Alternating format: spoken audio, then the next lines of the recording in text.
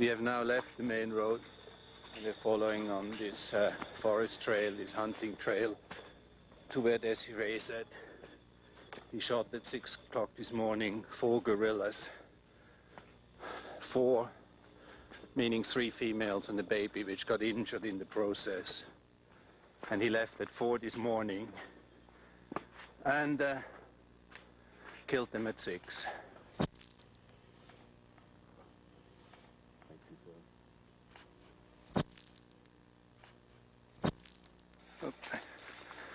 We now uh, where they have started cutting and soon we should be at the road which hopefully will take us to Lomé this afternoon and the films to safety.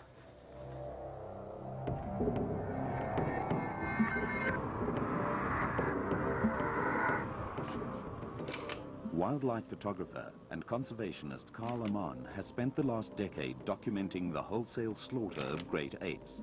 His outspokenness has earned him the wrath of many African governments. He got held up uh, at one road junction where the police wanted to interrogate us. Carl will stop at nothing to highlight the issue and to expose the culprits. But despite the impact of these horrific pictures, little is being done to stop the carnage people feel why just chimps and gorillas? I mean, there's a lot of more endangered species out here. I agree. I mean, the giant pangolin is probably more endangered. They take it, they eat it. Uh, why aren't you making a fuss about the giant pangolin? But the fact is, if you can't make an issue out of our closest animal relatives being eaten and uh, wiped out, how can we hope to motivate anybody to do something about the giant pangolin? Ammann's base is his home in Nanyuki, Kenya. From here, he single-handedly exposes the world to the real situation. He believes not enough is being done to halt the commercial bushmeat trade, and time is running out. I really first got interested in this bushmeat issue in 1988. My wife and I were traveling on one of these legendary Zaire riverboats between Kinshasa and Kisangani.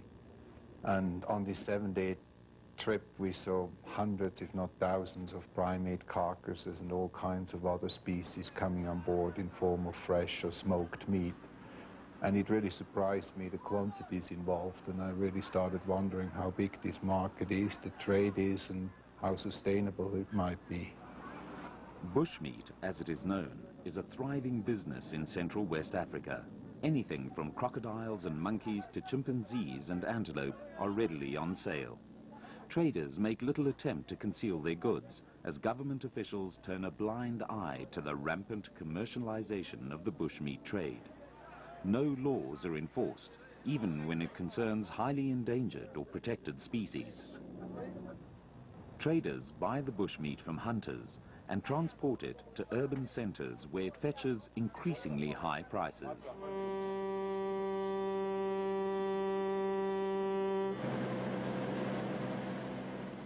One-fifth of the world's tropical forests are found in Africa. These are the richest ecosystems on the continent. The four-story high canopy with its thousand-year-old trees is home to abundant endemic animal and plant species. One major threat is bringing many of these to the verge of extinction, and that is logging. Africa is the world's third biggest producer of tropical timber, with the European Union providing the biggest market.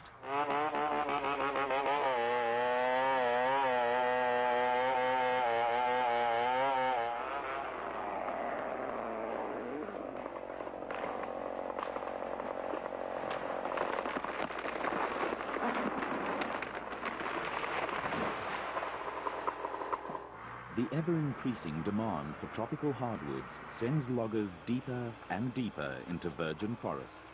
A widening network of roads is cut in order to get to the new areas and later to transport the trees out. These roads give hunters easy access to previously unreachable areas. Logging companies have come under intense scrutiny from environmentalists over the issue of sustainable logging in the production country, they're very powerful. You know, they are the law. Uh, so they know that. So if you're going to go and talk to them on doing something on the ground here, there's little response. And they know basically they can get away with it. So the, the pressure has to come from the uh, consumer countries. You know, if the consumer is educated what sustainable logging means uh, in terms of not just cutting trees, but in terms of fauna, of wildlife, uh, maybe that's where a difference could be made. One species particularly threatened by logging and the bushmeat trade is the bonobo, or pygmy chimpanzee. Only discovered in the 1960s, little is known about these mysterious creatures.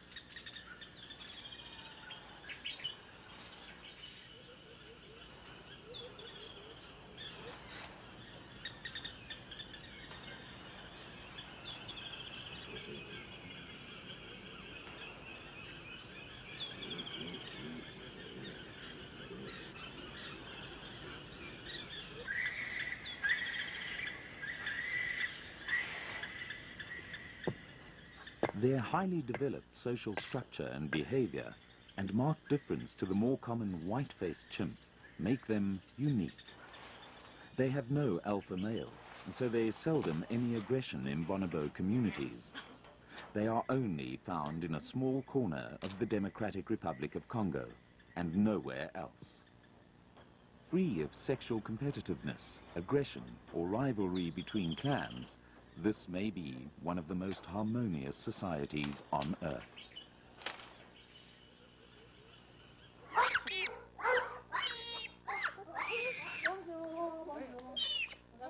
A tragic byproduct of the bushmeat trade are the orphans. Claudine Andre, who was born and grew up in the Congo, has created a refuge for baby bonobos. Are you Buende? Hmm? Yeah. Buende. Bonjour. Bukavu. This is Manono. Bonjour, Manono. Bisous, bisous, bonjour, Manono. Bonjour. Oh, Mickey, Mickey. Karl Ammann has watched the Kinshasa sanctuary grow and grow as increasingly more victims come in each year. The first one I received four years ago, and after we tried to to have the permission to uh, to seize all the baby coming from the boat and and the people try to sell it. The big problem in the beginning it's not only the physical problem, it's a psychological problem. They are in very, very bad psychological condition when they come after the separation with the mother. They refuse to, to live without the mother. So we take care of the baby bonobos like, like human baby.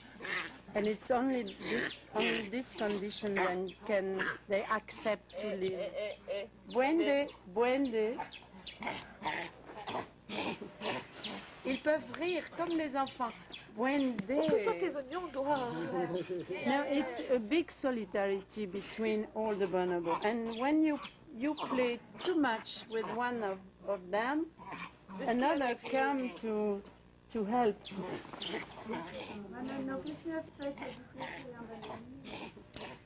Oh, it's, it's terrible.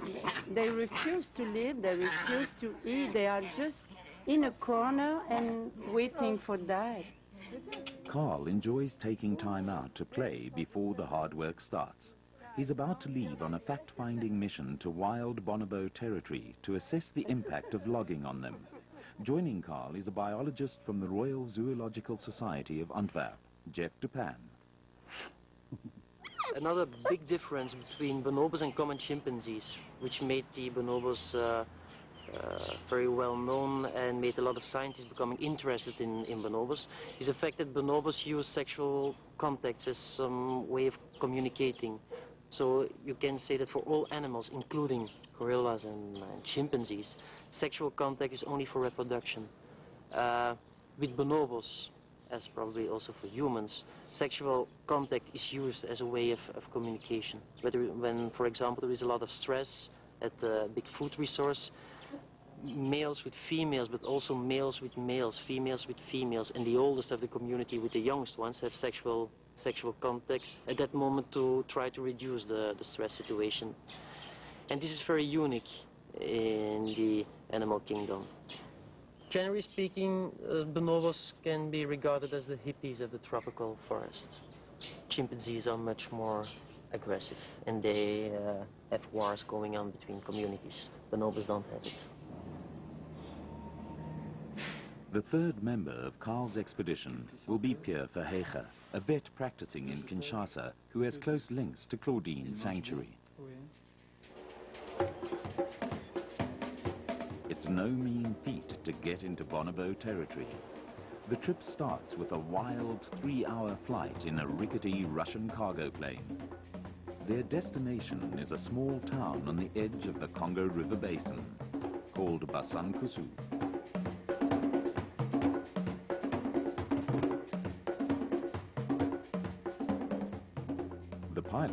Pretty informal, and so is the in-flight catering.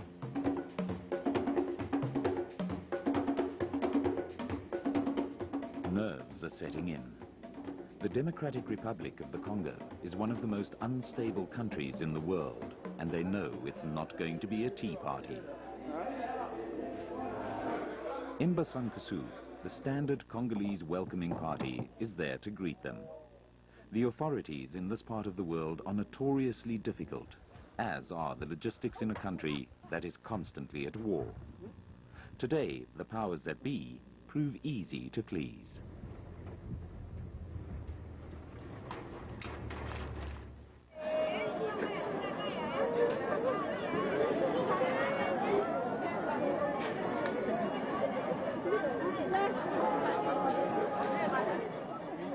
When shopping for supplies, prices depend on how well you can haggle. The same holds true when hiring the ubiquitous banana boat. Chaque fois, on loue avec 25. The size of the pirogue, that's the boat, is important. They must carry two weeks' supplies and fuel and decide on the jumbo model. I mean, he said he has managed his boat with eight uh, barrels plus people. So Jef says, yeah, but the people must have been in the barrels. From here on, there are no roads, and the only way to travel is local style via the vast labyrinth of tributaries feeding the mighty Congo River.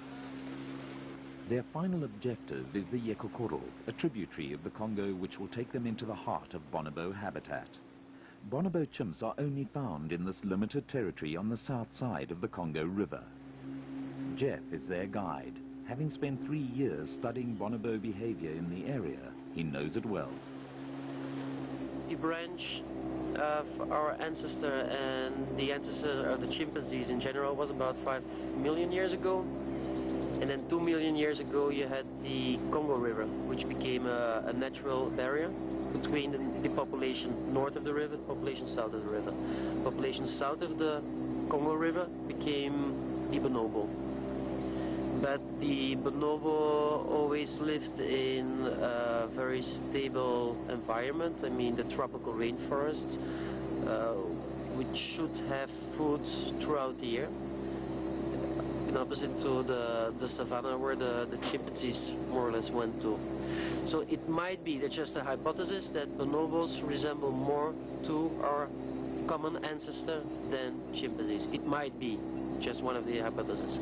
But it makes it even more interesting to do a, a socio-ecological study on, on the bonobos.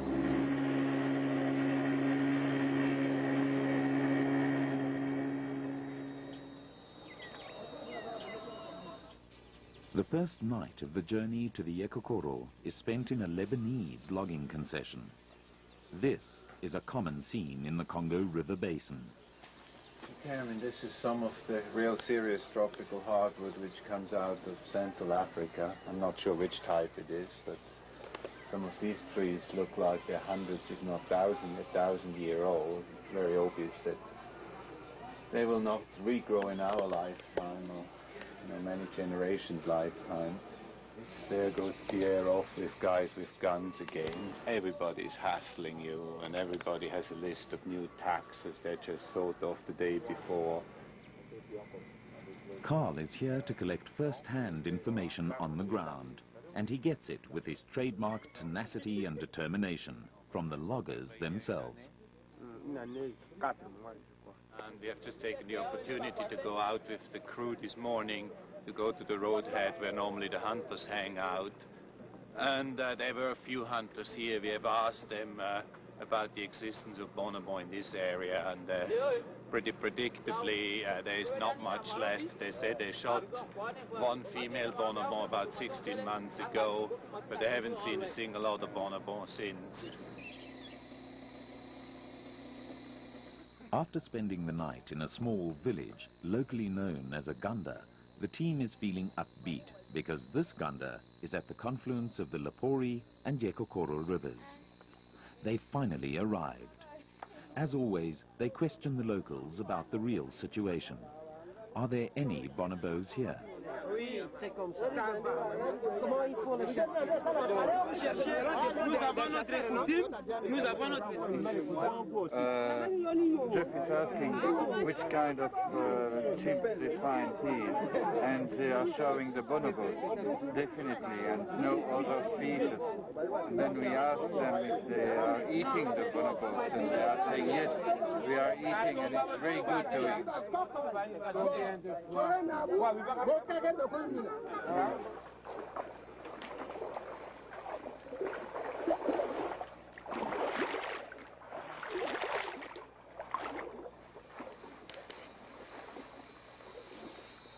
The next gunda is more tricky to reach, but proves rewarding when the chief produces the regional government's official price list for bushmeat.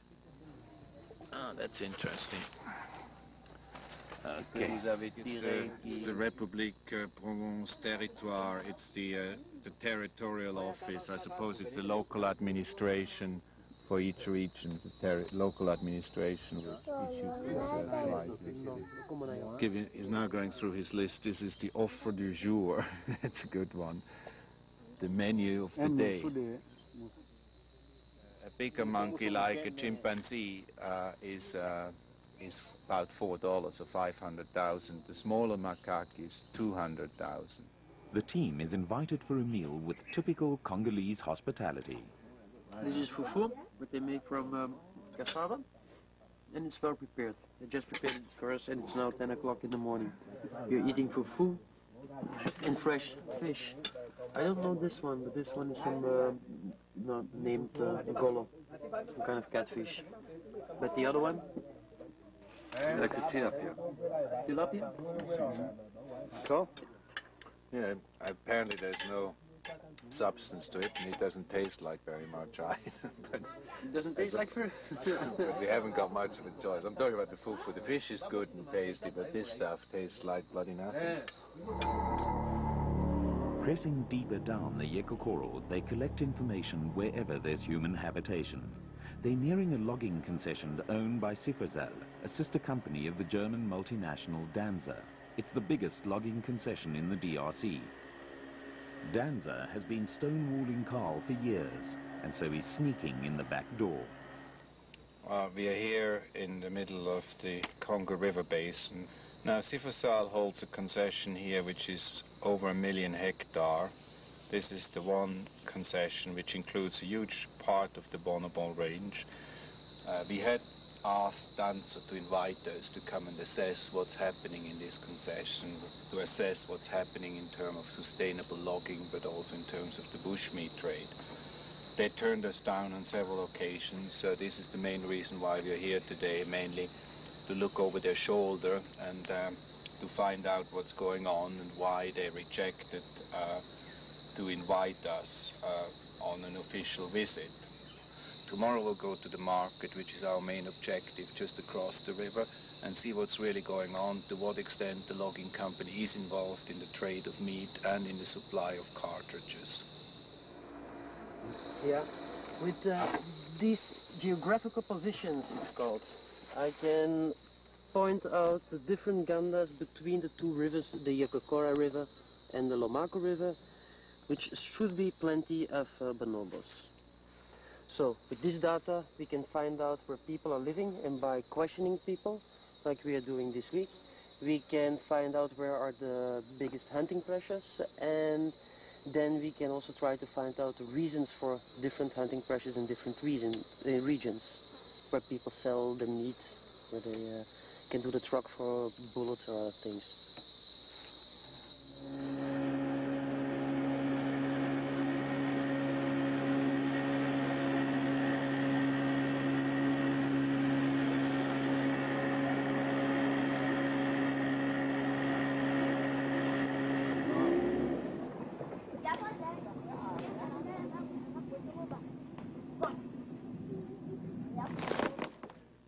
Their way to the market, they stop at another gunda and ask the usual questions. What have you hunted recently, and where are you getting your gun cartridges from? Great chick mangabe. We have a porcupine, which is the most desirable meat. That's a hundred thousand, almost a dollar. Then here we have a small bonobon. Uh, that's the hand here. And this is obviously a, a big bonobon piece. And he's going to bring out more.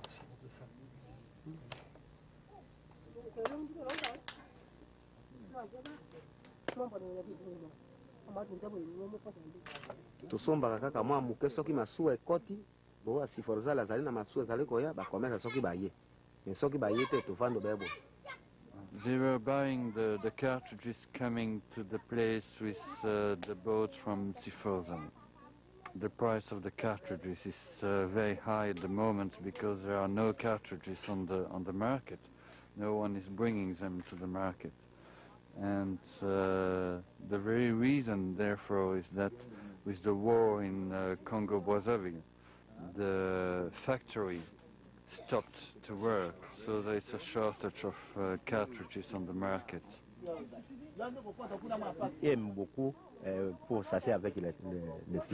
euh. Ah. So if there was cartridges on the market, he would prefer to hunt with a gun. But with this weapon, he can uh, kill nearly any animal, uh, monkeys, uh, chimps, or even great antelopes. These are the arrows. It's a piece of wood on the point of which they put uh, poison. Any animal, uh, monkey, even chimps, will die after three or five minutes. Uh, a very big animal will die after 25 minutes.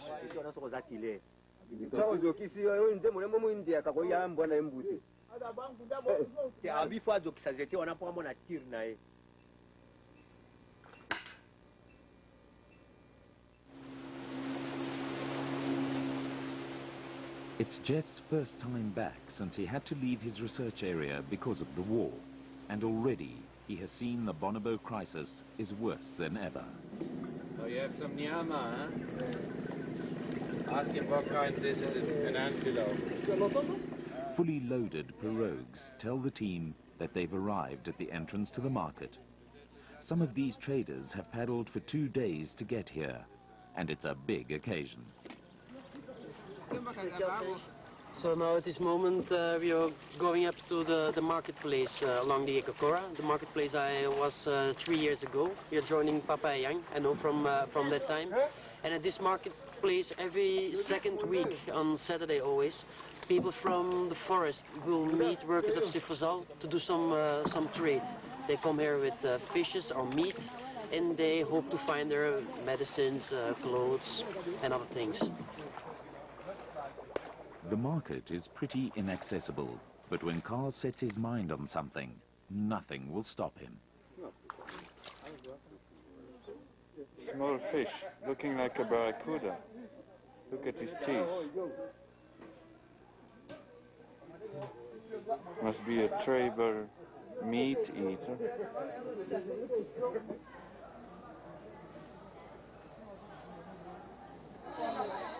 These markets have been happening for centuries.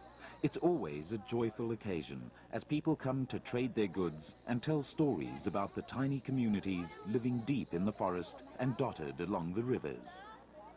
An amazing variety of forest goods are traded here, a natural supermarket that supplies all their needs.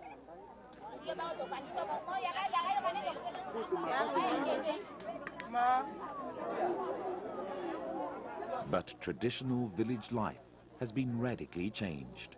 Simple bartering has given way to a money economy. It's a medicine against amoeba. Siforzal employees provide goods that were never available before, like wire to make snares and gun cartridges. They also buy up the bushmeat, which will later be sold at vastly inflated prices in the urban centres.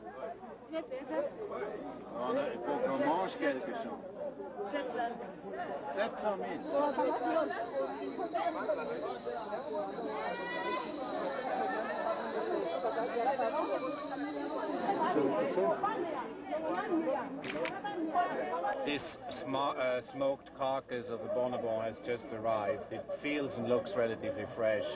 The heads and the hands were probably left in the forest. But if we can find the hunter, we probably can establish where it was hunted and by whom and get the rest of the story. But this is definitely a bonobon carcass, which is for sale. How much is the price? About 200 Belgian francs. The price uh, of this carcass is eight dollars. Are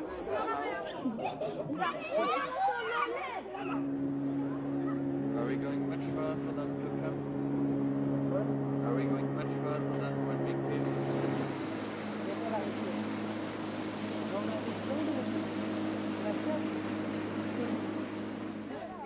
Some people argue that bushmeat has always been a traditional food source and that it's arrogant and culturally insensitive to stop locals hunting.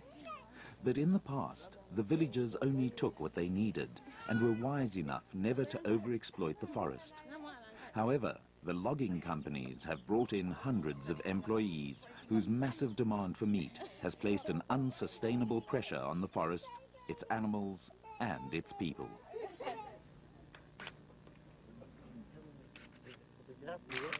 So this is the bonobo hunted by Atanas. It's about 15 kilometers from here, in this direction, south of the Ekakora. He just left in the morning and came back the same evening with his uh, with the bonobo. Karl and his crew are heading back to Basankusu. A desperate sense of hopelessness and depression sets in. They've seen seven slaughtered bonobos in seven days. It's frightening to think of the statistics for a whole year across the entire territory. We're here at Isansani, which was the first part of the logging concession Siforzal exploited. This particular part of the concession was used from 72 till 84, and this is the port where we are. This is the one building which is left behind. banyama mingi ebele ebele Banyamanini. Nyonso nyama nyonso ya zamba na biso So he's saying that before Siforzal started the work, there were a lot of animals around here, even elephants, chimps, antelopes of different kinds. After the work, there is nothing left. asalaki te dispensaire na ye moko ya batravailleur na ye bisika na ye ya chantier na ye aza kotonga kasi mpo na population te Okay. Siforzal hasn't built any school or dispensary, so when they left, there was nothing behind as uh, social help for the for the people. The expedition is over, and they are heading back to Kinshasa. From the air, the forest looks pristine, but they know the reality is very different on the ground. An even more daunting challenge lies ahead, opening the eyes of conservation bodies and the world to how desperate the situation really is. The establishment, the conservation community established in the countries concerned, they don't like the message because what it seems to imply is that they are not efficient or effective in dealing with this problem. And maybe that's the case. You know, it developed on their watch. They were there in the last 10 years when the loggers moved in. There were no, uh, you know, no uh, laws of conduct or unwritten or written rules for the loggers how to behave. So it developed to the present crisis scenario on their watch. So highlighting it now results in being attacked uh, on the basis that it's sensationalizing the issue. I have a problem with that.